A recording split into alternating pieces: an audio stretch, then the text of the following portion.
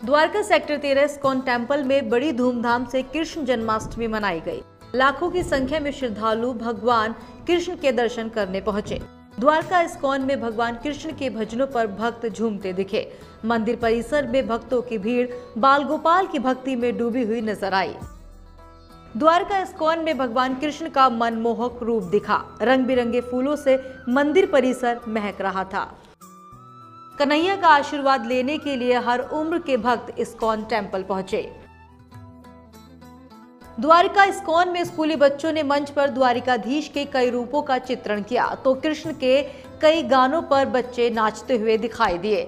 सामने बैठे सभी भक्त कन्हैया की लीला का आनंद ले रहे थे और इंतज़ार कर रहे थे उस पल का जब कान्हा जन्म लेंगे। द्वारका स्कॉन में बाल गोपाल के जन्म की खुशी में खास तैयारियाँ की गई।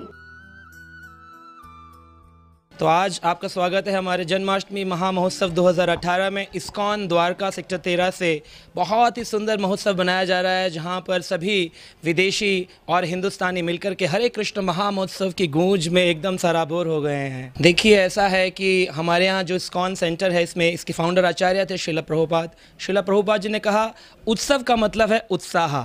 और उत्सव हमारे इस्कॉन केंद्रों में इसलिए बनाए जाते हैं ताकि भक्तों के अंदर उत्साह बना रहे। आज के समाज में इतनी तकलीफ़ें हैं, इतनी परेशानियाँ हैं, क्योंकि उत्सव नहीं हैं। लोग भगवान को भूल गए हैं। अगर जीवन का सेंटर भगवान होते हैं, अगर भगवान केंद्र बिंदु होते हैं तो हमारा जीवन उत्साहपूर्ण और उल्लासपूर्ण होता है। उसी चीज़ को समझाने के लिए आज विभिन्न प्रकार के कार्यक्रम चल रहे हैं, जहाँ पर हमने स्कूली बच्चों को शिक्षाएँ दी हैं कि कैसे वो नाट्य उत्सव, जो कि कृष्ण भावना भवित हों, उनको मंचन करें। हमने स्कूलों में जाकर सिखाया है और और उन स्कूलों से बच्चे आए हैं, उनके पेरेंट्स आए हैं, टीचर्स आई हैं और इस प्रकार से बच्चों का कंपटीशन हो रहा है। विभिन्न प्रकार के सन्यासी महात्मा यहाँ पर आए हैं जिन्होंने अपने प्रवचन दिए हैं और हमारे स्कॉन के महान आचार्य शिल प्रभुपा जी के रास्ते के अनुसार, बताए रास्ते पर हम लोग चल कर के इस उत्साह, उत्साहपूर्वक उत्सव को मना रहे हैं। बहुत ही विशेष इंतज़ाम है। रात के साढ़े दस बजे हमारे जो विग्रह हैं, उत्सव विग्रह उन भगवान विग्रह को पंडाल में ले जाया जाता है और वहाँ पर एक हज़ार आठ विभिन्न प्रकार की वस्तुओं से भगवान का एक विभिन्न अभिषेक किया जाता है।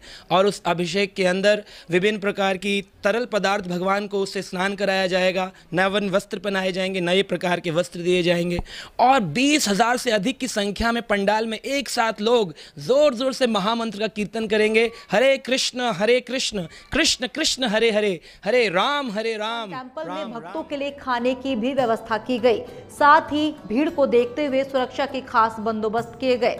चप्पे चप्पे पर सुरक्षा कर्मी तैनात रहे और सीसीटीवी ने सभी पर अपनी पैनी नज़रें रखी।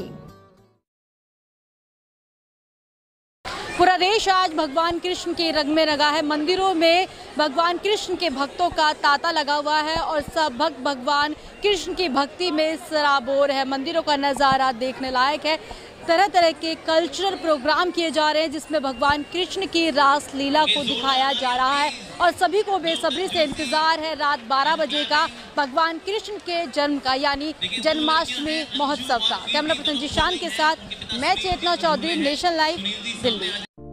ताज़ा तरीन खबरों को जानने के लिए नेशन लाइव आईपीटीवी को सब्सक्राइब करें।